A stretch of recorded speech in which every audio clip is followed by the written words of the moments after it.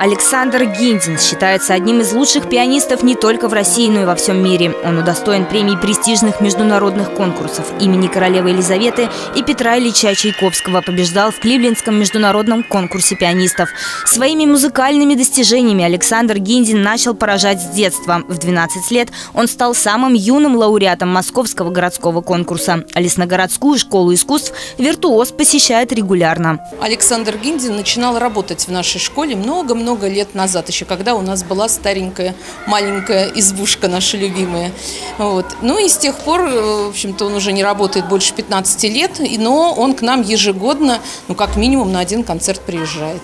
Дает у нас бесплатный концерт для жителей Одинцовского района, нашего поселка. И, э, в общем-то, мы приглашаем Московскую область для всех желающих. Совершенно бесплатно. Рядом со мной заслуженный артист России, непревзойденный мастер, виртуоз, пианист Александр Гиндин. Александр, спасибо Спасибо, что приехали к нам в Одинцовский район. Спасибо а, вам, что приняли. Скажите, пожалуйста, что бы вы пожелали пианистам из Одинцовского района, и, может быть, э, не только, которые только начинают свой творческий путь?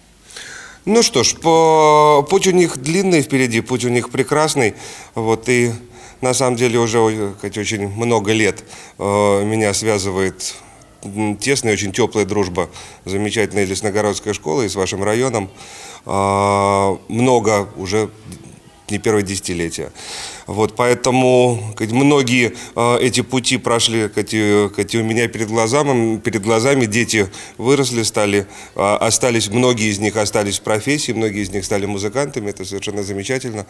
Вот, на самом деле, любить то, что, э, то, что делаешь, и, верно этому служить, и и не, не отвлекаться на что-то другое. Желающих послушать, как играет виртуоз, оказалось немало. Среди них были преданные поклонники Гиндина, которые приехали из дальних уголков Подмосковья, а были и те, кому просто нравится хорошая музыка.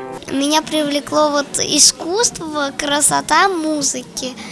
И мне очень любопытно посмотреть, как на педальку нажимают. Но Александр Гиндин не только любопытно нажимает на педальку. По мнению музыкальных критиков, его главные отличительные черты – это яркий артистизм, виртуозная техника и высокая культура звука, романтическая взволнованность и проникновенный лиризм интерпретации, широта репертуара и умение передавать замысел композитора. С первых секунд Александр Гиндин поразил слушателей своей непревзойденной игрой.